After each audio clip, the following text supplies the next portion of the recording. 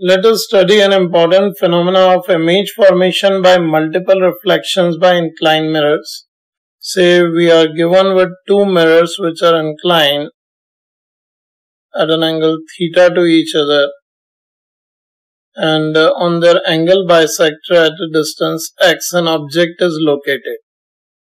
For this point object those light rays which will incident onto mirror M1 if these mirrors are M1 and M2 that is reflected in such a way that the light is coming from uh, the image I1 which is uh, formed at the same distance behind the mirror M1 at which uh, the object is situated. So here by symmetry we can see that this image I1 will also be located at a distance x from the point of intersection of the mirrors. Now when this light ray will incident on mirror M2 this image I1 will act as an object for this mirror M2 and the light is reflected in such a manner that this image I1 will be acting as an object and an image is produced behind uh, the mirror M2 such that it is located at the same distance, perpendicular distance from M2 at which the image or object I1 is located for mirror M2. So in this situation, this distance of I2 from mirror M2 is same as that of I1 from mirror M2 and this light ray is reflected. Say if it will incident again on mirror M1,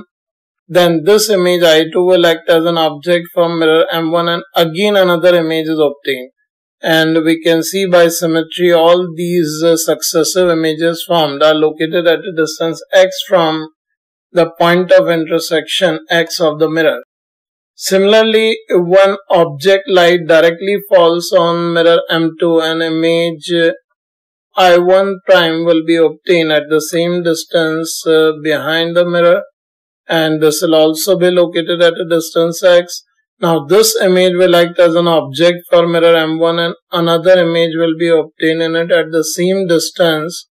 behind mirror M1, this say I2 prime and this will also be located at a distance x from the intersection point of mirrors. So here we can see there are multiple images obtained. It will not stop at two images, there can be further image formation. But here we can see that all these images along with object lie on a circle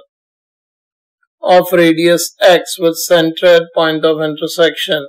So all those images which are formed by successive reflection due to inclined mirrors we can see all these images will lie on a circle. So you must uh, write down this note, which is quite useful, that uh, uh, due to multiple reflections, all images obtained by inclined mirrors lie on a circle with the center at the point of intersection of mirrors. Here uh, we can also write that all images along with object will lie on the circle. Here uh, there is one specific relation I am telling you the analysis is beyond the scope of these lectures. So there's a specific result you can keep in your mind that if 180 by theta belongs to set of integers, that means if uh, 180 is wholly divisible by the angle between the two mirrors, then total number of